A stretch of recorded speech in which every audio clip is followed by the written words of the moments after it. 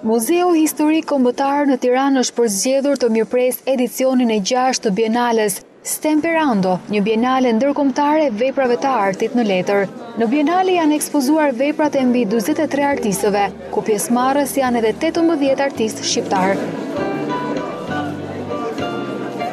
Aktiviteti i zhvilluar për herë të parë në Tiranë është përshëndetur edhe nga Ministrja e Kulturës Mirela Kumbaro. Pse nuk mund të mos ndaj me ju ditën kur Alfred Milot Mirashi, që është këtu sot, më pushtoi zyrën në mënyrë të menjëhershme, të vrullshme, nuk më la as të merrja frymë, i tha të gjitha ç'kishte për të thënë, nuk priti fare përgjigje, çfarëdo që të thuash tha unë do ta bëj.